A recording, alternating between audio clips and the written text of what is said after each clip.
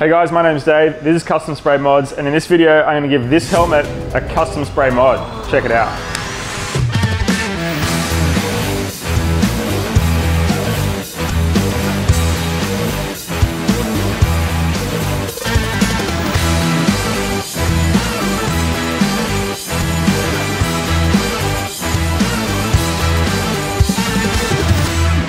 Okay, so I'm no expert airbrush artist and I'm not even very artistic myself. I don't consider myself to be very artistic. So I want to paint this helmet and I've been following a few helmet painters, a helmet design, custom uh, companies and I really like their work and I just, I, I really want to get that same finish. So I've picked a design that I like and I'm going to spray this helmet. And hopefully it can help you along the way if you ever think about spraying a helmet or doing some kind of custom painting. And mainly focusing on getting flake, getting flake down really nice and getting these little flaky lines that you see uh, in, these, in these designs. I really like them and I want to show you how to do it and I'm going to try it myself. So let's go along and do this together.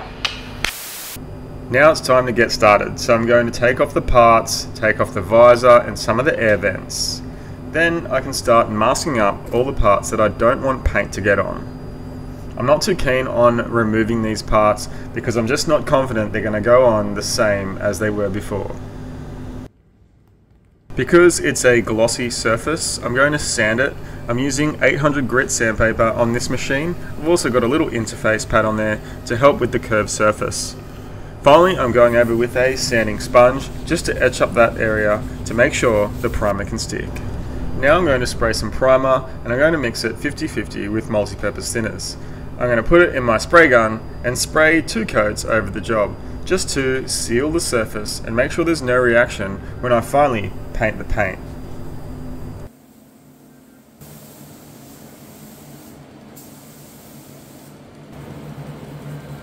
Once the primer is dry, I'm going to give it a quick sand with a sanding sponge and then clean the surface, ready for some base coat. Now I'm going to spray some silver metal flake on this job, but first I'm going to spray some plain silver base coat. Because if the flake has any gaps, then at least it's going to be silver and not that grey primer. Now I'm ready for the flake. I've got a clear base coat, which is also called a binder. I'm adding the flake in, and a lot of people ask how much flake do I use? Well, it's a bit of a guess. I like to put as much in so that you can't see the colour of the ruler when you mix it and lift it up. The flakes all mixed in, now I'm adding some thinners 50-50 so it can spray through the gun. Now I'm ready to paint it. I'm using a 1.8mm spray gun and I'm going to just keep spraying coats, waiting 5 minutes between coats until I've got the coverage that I want and I want this flake to be fully covered so you can barely see the silver. I want it nice and chunky and full so that it looks mad when I do my lines. Now that I'm happy with the way the flake is on there, I can put some clear coat. I'm mixing up my 2K clear I'm going to put it in my 1.3mm spray gun. I'm going to spray three coats over the flakes, making sure that it's a nice thick coat so that it provides a good layer between the flake and then I'll be able to sand it and get it nice and smooth. At this stage, the flake has a good amount of clear coat on it, but it is still quite rough and bumpy. So now I'm going to let it dry and then I can sand it. I'm going to use 800 grit sandpaper and a bit of water to help sand that down and make it smooth. So I'm sanding this and you can clearly see the part that I've sanded and the bit that isn't sanded as good and you can see the orange peel there. So if I get it fully smooth, then when I put my top coats on, it's gonna be nice and smooth as well. Whereas over here, it's still gonna be rough. So I need to keep sanding until it looks like, like this, nice and smooth. And then when I put my clear on that, uh, it's going to become shiny again and then give me my gloss back. So this is just to etch the surface and help my next layers stick. Now that the clear is all dry and sanded, I can start masking up my lines. Now these lines at the end of the job are going to be a gloss flake look. So now that the clear is dry, it's a 2K finish. It's going to be nice and durable and I can really work it hard and get those lines exactly the way I want it. I don't have to worry about damaging the surface too much because it's nice and strong and I'm going to recoat over it anyway. Keep in mind though that damaging the clear with the knife will show up in your final finish, so be careful when cutting those lines.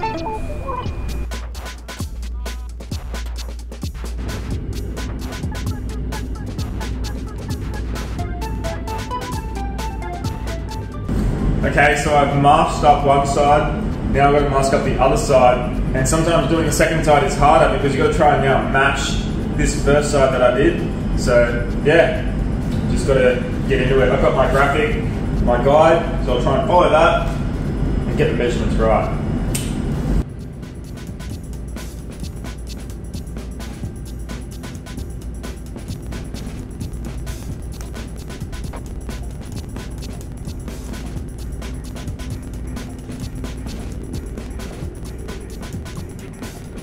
So one way to get nice sharp edges using tape is to use the angles of the tape. Now this is a 3mm fine line tape. So if I lay the tape over and then run another piece of tape on an angle, well then that can create a sharp edge. And by following the line, I can get a nice pointy finish. There might be better ways, but this is how I do it. Uh, you do have to be careful not to damage that clear coat too much with the knife. I'm trying to just apply enough pressure to cut the tape and not damage the clear too much. Also, a heat gun can help get the angles and get those curves laying down nice and flat to the surface. Now I've finally got all the lines down the way I want it and it's relatively equal on both sides. I mean, it's not perfect, but you never really look at both sides at the same time. I've also cut out some extra graphics that I'm going to lay down over the flake. On the front section, I'm spraying some gold candy because the image I want on top of this, I want it to be a gold candy color. I've done that. Now I've got my sticker and all I have to do is lay it over the dried base coat. Normally wait about 30 minutes before laying the stickers down. The base coat will handle it quite well.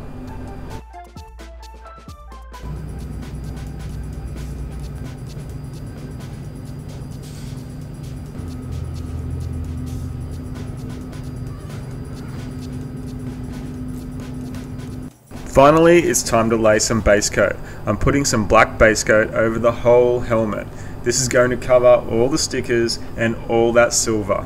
Basically, it might be a bit of a waste, but I needed a canvas of silver flake to get my lines down right. Now that the base coat's dry, I'm going to spray some extra little highlights inside some of these little areas. I'm going to mask up around it and then spray some purple pearl in those bits just to give a bit of an offset in colour.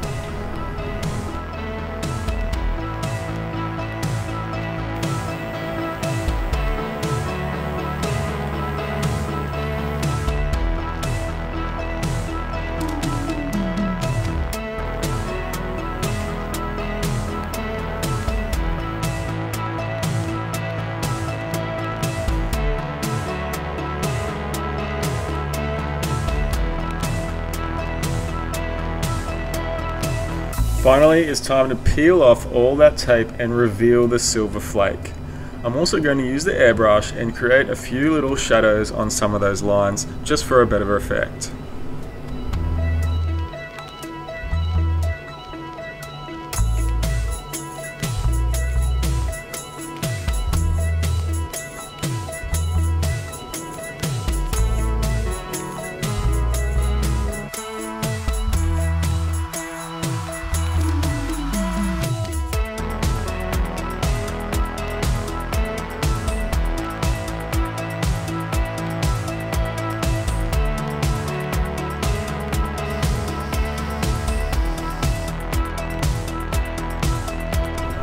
So the base coat is all dry, I've got my design looking exactly how I want it, and I'm super happy I'm ready for some clear coat. I'm going to spray two coats of clear, and I'm going to let that dry, and I can move on to the next step.